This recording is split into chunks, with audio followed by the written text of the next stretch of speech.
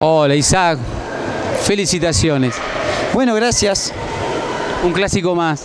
Sí, la verdad, muy contento con la adrenalina al palo, viste. Esto se disfruta más bien mañana.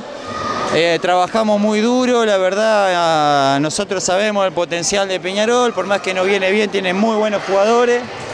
Así que tratamos de jugar a base de garra, compartir la pelota, eh, todos aportar algo y bueno, la verdad muy contento y satisfecho con el equipo, el grupo, la verdad eh, quedó demostrado de que estamos bien para lo que viene, así que, que muy feliz. Sabés que viene Capuchino, ganó Capuchino y ganó Salada.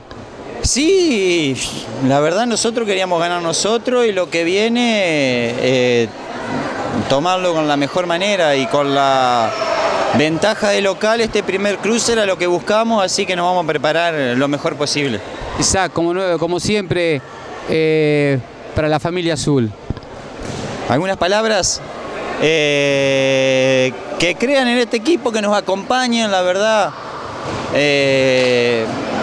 Es un equipo que dentro de sus limitaciones lo ha dado todo, eh, estamos con chance de pelear arriba de nuevo si la gente nos acompaña, necesitamos la energía y el aguante que siempre se caracterizó eh, en este club. Así nosotros poder tener ese, ese envión anímico y, poder llegar hasta, hasta donde la liga nos ponga, digamos.